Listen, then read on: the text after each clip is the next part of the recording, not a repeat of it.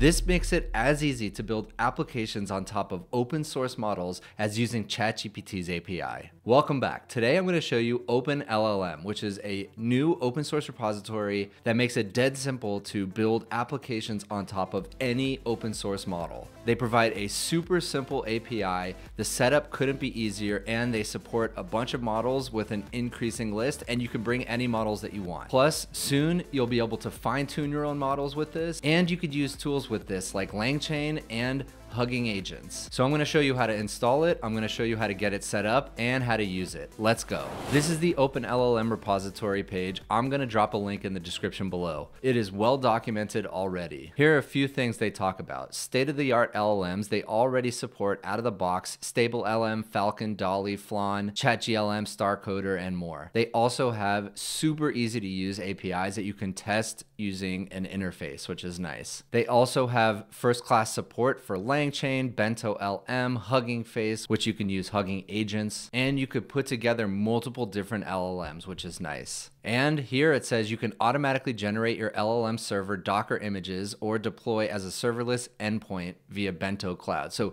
super easy to go from local deployment to production ready. And last, fine tune any LLM to suit your needs, and that is a coming soon feature. First, let me show you how to get it installed. It's really only one command, but we're gonna be using Conda like we usually do to avoid any Python and module mismatch issues. And the first thing we're gonna do is create our new Conda environment. To do that, we're gonna type conda create dash n for name, OL, which is Open LLM, but you can name it anything you want. Python equals, and we're going to be using Python version 3.11.3, which is a very recent version. Then we hit enter. And here we hit enter again to say we do want new packages installed. All right, that's done. Now we activate the environment. We can just highlight this code right here, copy, paste it, and now we're activated. And we can tell that this environment is activated because it says OL right there. And now watch how easy this is. pip install open LLM. That's all you have to type. Enter. It installs everything we need. All right, it's done.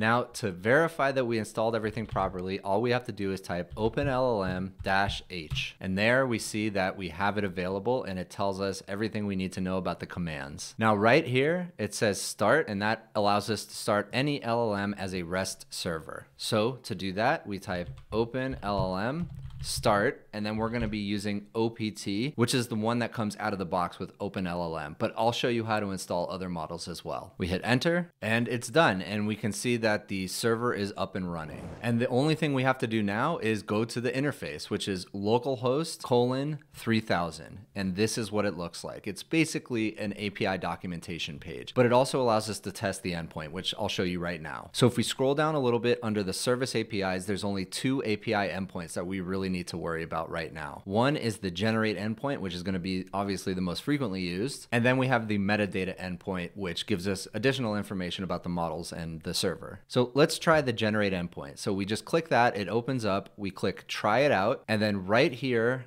in the JSON, we're going to enter a prompt. So we're going to say, tell me a joke. Then we hit execute. And if you can just imagine this as an API endpoint, that's all it is. So we just pinged an API with this payload and we're waiting for the response now. And if we scroll down a little bit, it tells us all of the types of responses and the response codes that we can expect. And keep in mind, as this is running, you can change all of these settings in here. So max new tokens, min length, early stopping. It has a bunch of very common settings that you would expect with these large language models. And if we go back and look at our server, we can actually see that it is pinging the endpoints that we expect. All right, it's done. So we can scroll down, we can see the response here. Obviously, this response doesn't make a lot of sense, but that's only a reflection of the model. And this is a very small model that we're using. Next, let me show you actually loading this into a Python application and how easy it is. So we still have that server up and running. And now what I did is created this short Python script. So all we do is import OpenLLM, then we have the OpenLLM client here pinging our local server. And then here's our query. So I assign the response to this variable response, and then I'm going to print it out. Now let's run it. Top right, I'm going to hit play. Now I get these warnings. Bento LM does not support loading JSON encoders from URLs. Output will be normal dictionary. I don't actually know what that means, but it doesn't seem to be causing any problems. And here we go. Explain to me the difference between further and farther. I think he means farther is a verb that means a step, but I don't really know. Farther is a verb meaning to move farther away. Farther is a verb meaning to move further away, farther. Yeah, so the response doesn't make sense, but the API is working perfectly. And so just imagine you can put this simple code into any Python application that you want, and you're going to have access to building on top of an open source model that easily. And you can deploy the whole model really easily as well. So out of the box, OpenLLM supports these models Flan, Dolly, ChatGLM, StarCoder, Falcon, StableLM, and multiple different versions of each of them as well and they could not be more easy to install. You just do pip install OpenLLM brackets and then the model name. So let's try that out now. I'm gonna show you how to do that. So let's grab the Falcon model. I'm gonna copy that. I've opened up a new terminal while I still have that server running. And of course, I'm gonna enable that Conda environment. And now we have that same Conda environment ready to go. So now we just do pip install open LLM Falcon and I'm gonna hit enter. Okay, so that worked. Now, one thing to note is I've gone through this installation before and the first time I did it, it gave me some warnings at the top. It said, please make sure you have installed and it gave me three or four different modules that I needed to have installed and it failed the first time. Then I simply did pip install for each of those modules and then it worked. And it tells you upfront what you need to install. So just keep that in mind. And it says it right here. OpenLLM doesn't include dependencies to run all models, and so that's what you're gonna need to install. But again, it tells you. So now to run the model that we just installed, we spin up a new server, OpenLLM, start, and then Falcon instead of OPT. Then we hit enter. Okay, so here's that warning I was talking about. Make sure to have the following dependencies available. EIN ops, XFormers, and safe tensors. Now I already have those installed, but you might have to do that. And now if we go down to the metadata endpoint, let's try it out. Execute.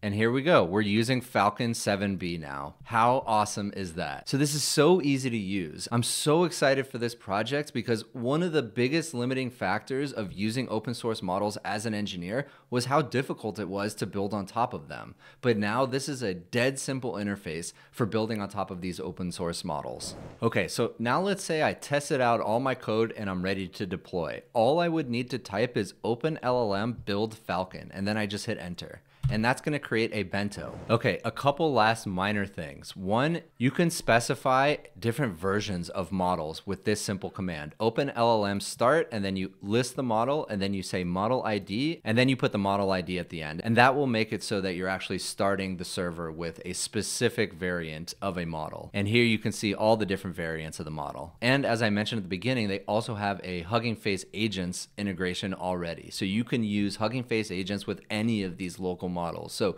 you're really talking about extremely powerful tools now being available completely open source. And LangChain, but that is coming soon. So that's it. I hope you have fun building on top of these open source models. Let me know what you think about this. I'm going to be following closely this project because I'm super excited about it. If you had any trouble installing this, jump in my Discord. I'm happy to help out. And if you enjoyed this video, please consider giving a like and subscribe and I'll see you in the next one.